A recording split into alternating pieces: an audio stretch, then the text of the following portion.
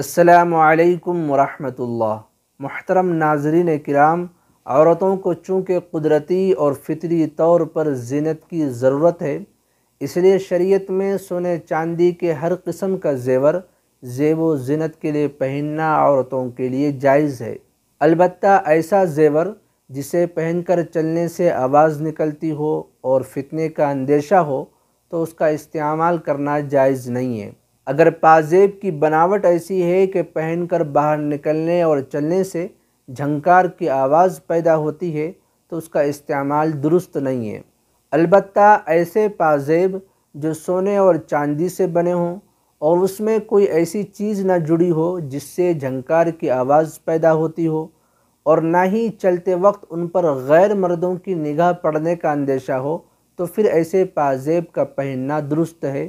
قرآن مجید میں اللہ تعالیٰ کا ارشاد ہے، ولا يضربن بأرجلهن ليعلم ما يخفين من زینتهن جس کا ترجمہ یہ ہے، اور نہ ماریں زمین پر اپنے پاؤں کہ جانا جائیں جو چھپاتی ہیں اپنا سنگار۔ اس آیت میں عورتوں کو اپنی زیب و زینت غیر مردوں پر ظاہر کرنے سے منع فرمایا ہے۔ اور یہ بھی کہ زیور کے اندر کوئی ایسی چیز ڈالی جائے جس سے وہ بجنے لگے۔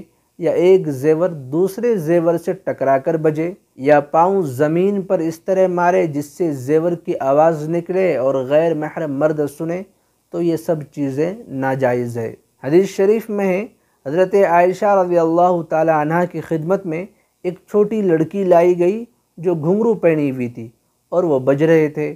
حضرت عائشہ رضی اللہ تعالی عنہ نے اس لڑکی کو لانے والی عورت سے فرمایا کہ اس لڑکی کو اس وقت تک میرے پاس نہ لایا جائے جب تک کہ ان گھنگروؤں کو کاٹ کر پھینک نہ دیا جائے۔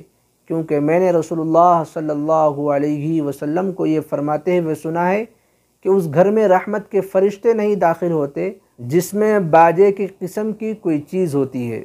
اسی طرح حضرت عمر رضی اللہ تعالیٰ عنہ کی خدمت میں ایک بچی لائی گئی جس کے پاؤں میں گھنگرو تھے۔ حضرت عمر رضی اللہ تعالیٰ عنہ نے انہیں کاٹ ڈالا اور فرمایا کہ میں نے نبی کریم صلی اللہ علیہ وسلم کو یہ فرماتے ہوئے سنا ہے کہ ہر بجنے والی چیز کے ساتھ شیطان ہوتا ہے۔ خلاصہ کلام یہ ہے کہ کان میں، ہاتھوں میں، پاؤں میں، گلے میں زیور پہننا شران جائز ہے۔ اور عورتوں کو چونکہ قدرتی اور فطری طور پر زینت کی ضرورت ہے، اس لیے شریعت نے ان کے لیے سونے چاندی کے زیور کی بھی اجازت دی ہے۔ اور زینت سے زینت والی پوشیدہ چیزیں مراد ہے جیسے پاؤں میں پازیب، مہندی کا رنگ، ہاتھ میں کنگن، کان میں بالیاں، گلے میں ہار وغیرہ۔ بس یہ یاد رکھیے، عورتوں کو ان چیزوں کا غیر مردوں پر ظاہر کرنا جائز نہیں ہے۔